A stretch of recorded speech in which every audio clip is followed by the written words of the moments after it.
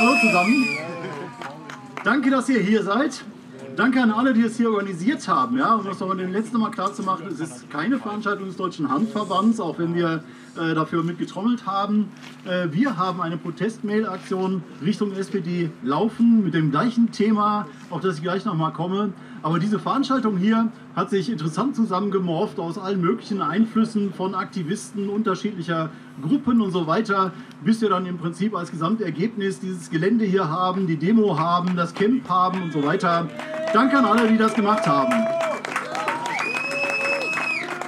Und auch wenn wir jetzt hier keine riesige Veranstaltung haben, ja, ihr denkt vielleicht, na okay, sind nur so ein paar Leutchen. Viele sind übrigens von weit angereist, ja, auch großartiges äh, Engagement, super äh, Geschichte. Und mit ein bisschen Glück ist vielleicht das hier, euer Anwesenheit hier, mit der effektivste Demo-Einsatz, der in der Hanfszene jemals stattgefunden hat.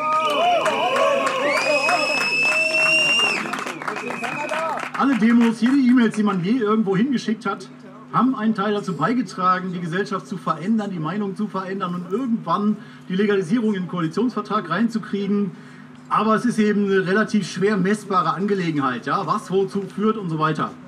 Aber hier, heute, geht es um ein ganz, ganz konkretes Problem, das wir haben und das sich mit einzelnen Personen, die dafür zuständig sind, lösen lässt. Wir haben jahrelang gekämpft, ich jahrzehntelang, bis zu dem Punkt, eine Regierung will legalisieren. Das ist zwei Jahre her. Dann haben wir weitergekämpft. Über alle möglichen Details, die da jetzt drinstehen im Gesetz. Ich will gar nicht darauf eingehen, ob das ein gutes Gesetz ist oder nicht. Ihr wisst alle, die Legalisierung wurde eigentlich aufgegeben. Ja, Fachgeschäfte für alle hat sich erledigt. Trotzdem haben wir jetzt ein Gesetz, was unterm Strich besser ist als vorher. Ich glaube, da sind wir uns auch alle einig auch wenn da Verschlechterungen drinstehen, einzelne Dinge werden sogar schlechter.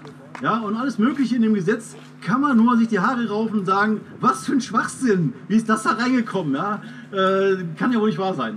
Trotzdem, unterm Strich, ist besser als vorher. Wenn das verabschiedet wird, könnten wir hier alle 25 Gramm Gras oder Hasch in der Tasche haben, können hier in Ruhe schönes Smoke-In machen und so weiter. Ja, wir haben überhaupt kein Problem. Wir können den Polizisten zeigen, welche Grassorten wir in der Tasche haben. Die würden vielleicht sagen, oh, mag ich, mag ich nicht. Ich habe lieber Dingsbums Haze, was weiß ich. Ja, aber die würden das Zeug nicht haben wollen. Das ist das, was uns jetzt bevorsteht. Das ist das, was wir im Prinzip erreichen konnten. Ja, unabhängig davon, ob das Ding jetzt irgendwie gut ist oder nicht. Das ist das, was erreichbar war. Das ist das, wo alle Fraktionen der Ampel gesagt haben, wir haben uns inhaltlich darauf geeinigt. Per Pressemitteilung. Es gibt eine Pressemitteilung der SPD, in der steht gleichlautend mit den anderen Fraktionen, wir haben uns geeinigt. Und es gibt eine Beschlussvorlage, die ausreicht, um sofort dem Bundestag vorzulegen, erst im Gesundheitsausschuss, anderen Ausschüssen, dann im Bundestag, hintereinander weg, erste Lesung, zweite, zweite Lesung und dritte Lesung, die Sache ist gegessen. Ja, dann kann der Bundesrat noch mal kurz seinen Senf dazugeben, dann unterschreibt Steinmeier und wir könnten hier mit unseren 25 Gramm in der Tasche rumlaufen. Das ist der Punkt, an dem wir bis jetzt gekommen sind. Bis hierher, mit allen Demos, mit allen Mails, mit allem, was wir bisher gemacht haben. Und was kommt? Die SPD sagt auf einmal, wir haben Beratungsbedarf. Hallo, was für ein Beratungsbedarf denn, bitteschön? Die haben selber eine Pressemitteilung rausgegeben, wir haben uns geeinigt. Die haben alle schon die Inhalte dieser Einigung rausgehauen. Der zuständige Minister sagt, wir haben uns geeinigt. Und dann kommen irgendwelche ähm, Innenpolitiker an, Sebastian Fiedler und ein paar andere, die plötzlich sagen, ja, wir haben einen Beratungsbedarf, wir müssen mal reden jetzt über das Gesetz. Ist doch unglaublich. Deswegen stehen wir hier. Deswegen sind wir hier. Weil die Fraktionsspitze auf einmal nicht mehr mitmachen will. Und das hat nichts mit den Fachpolitikern zu tun. Ja, will ich auch nochmal sagen. Bitte kein Bashing auf äh, Wegge und Heidenblut jetzt bei der SPD. Die können wirklich nichts dafür.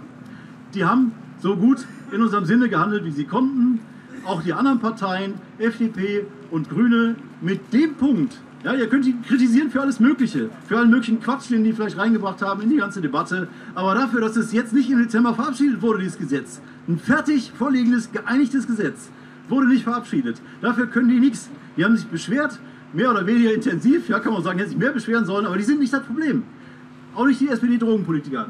Das Problem ist die Spitze der SPD-Fraktion, die nicht in der Lage sind, zusammen mit den anderen Spitzen der Ampelfraktionen zu sagen, wir packen das auf die Tagesordnung. Ganz einfach. Das ist das Letzte, was noch fehlt in dem ganzen Prozess, dass sie das Ding auf die Tagesordnung schreiben und verdammt nochmal verabschieden. Legalisierung Und dann sagen die ersten, nee, geht ja nur um die Zeit. Ja, wir, wir, passt gerade nicht. Ja, die Hamas hat Israel angegriffen. Deswegen können wir jetzt das Cannabis-Gesetz nicht verabschieden. Ja, das passt ja irgendwie nicht zusammen. Okay, ja, wo ist jetzt der Zusammenhang? Dann heißt es, wir haben jetzt die Haushaltsberatungen und eine Krise wegen äh, Urteil, Verfassungsgericht. Das ist viel wichtiger. Ja klar, ist das natürlich gesagt, wichtig, ja, aber wichtiger meinetwegen. Aber wieso soll man deswegen jetzt nicht Cannabis-Gesetz verabschieden? Hat da überhaupt keinen Zusammenhang. Das kostet ja noch nicht mal was. Das ist doch Quatsch. Also, die müssen endlich dieses Scheißgesetz auf die Tagesordnung bringen und darüber abstimmen.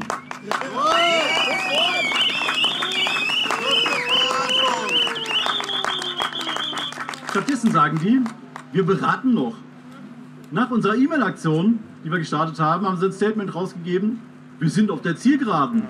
Ja, super. Was für eine Zielgerade denn? Die Zielgerade ist die scheiß Tagesordnung vom Bundestag und der, die Verabschiedung, die bevorsteht. Die Zielgerade ist nicht, wir beraten darüber noch irgendwie in der Fraktion. Wir müssen da nochmal drüber reden. Das ist keine Zielgerade, ja? Das ist, das ist eine Gefährdung des ganzen Projekts. Wenn wir jetzt nochmal das Ganze fast aufmachen wollen, den anderen Parteien sagen, wir müssen aber nochmal reden über was weiß ich, die Mindestabstände müssen doch größer sein oder so, ja? Oder wir müssen die Clubs abschaffen oder so aus dem Gesetz. Ja, warum sollten denn jetzt nach dieser ganzen Einigung, nach dieser ganzen Verhandelei, Grüne und FDP sagen, ja gut, lass doch mal reden. Die haben sich geeinigt, verdammt, warum sollen die da nochmal das Fass aufmachen? Werden die nicht machen? Warum sollten sie machen? Ja, kann ich mir jedenfalls nicht vorstellen. Dass die jetzt wegen Sebastian Fiedler in der Innen im Innenausschuss irgendwann mal sagen, ja nee, wenn der Fiedler das sagt, dann müssen wir das alles nochmal neu verhandeln. Ja, geht's noch? Die Frage ist sowieso, wie lange diese Hampel, Hampelregierung jetzt noch durchhält. Ja, die können jederzeit irgendwie auseinanderfliegen, das war auch zu erwarten. Will ich denen auch gar nicht vorwerfen. Drei Parteien-Koalition ist nicht einfach in Deutschland, schon gar nicht in so Krisenzeiten. Aber dann soll es doch bitte schön dieses geeinigte Gesetz jetzt mal raushauen und damit wenigstens uns aus der Kriminalisierung rausnehmen. Der Kampf ist auch danach lange nicht vorbei. Wir werden sofort weitermachen an dem bestehenden Cannabisgesetz irgendwie die Axt anzulegen an den Stellen, die gar nicht gehen. Ja, wir sammeln ja auch gerade wieder Geld in der Weihnachtsspendenaktion genau dafür. Haben uns gedacht, okay, die sind, jetzt, sind ja jetzt fertig mit dem Cannabisgesetz. Das kommt jetzt, müssen wir nicht mehr kämpfen, sondern wir befassen uns mit dem Ergebnis jetzt und machen das besser. Und kämpfen für Säule 2, für Fachgeschäfte und vernünftige Führerscheinregelungen und alles, was noch so übrig ist. Ja? ja. Stattdessen machen die das fast wieder auf. Kann ja wohl nicht wahr sein. Also, deswegen sind wir hier, deswegen machen wir eine E-Mail-Aktion gerade an den Vorstand dieser SPD-Fraktion. Deswegen ist diese Demo hier und wir haben gute Chancen. Ja, deswegen sage ich, vielleicht ist das der effektivste Einsatz, den ihr je gemacht habt auf einer Demo. Und wir hören nächste Woche von der SPD-Fraktion, ja, alles klar, wir wollen da gar nicht mehr das große Fass aufmachen. Wir lassen das jetzt so, wie es ist, das Gesetz, und wir schreiben das auf die Tagesordnung.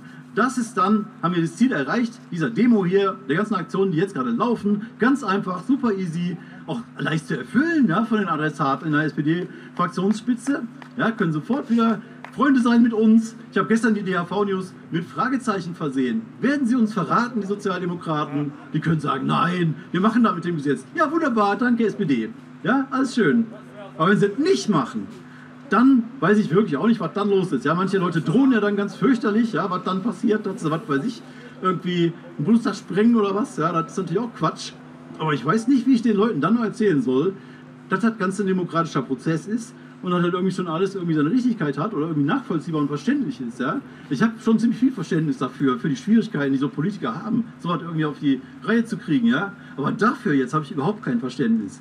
Also, ich glaube, es reicht jetzt, ihr habt verstanden, was ich euch sagen will, ja, und die haben verstanden, was wir denen sagen wollen. Eigentlich alles klar, auf die Tagesordnung mit dem Cannabisgesetz verabschieden, fertig aus, ja, bitteschön.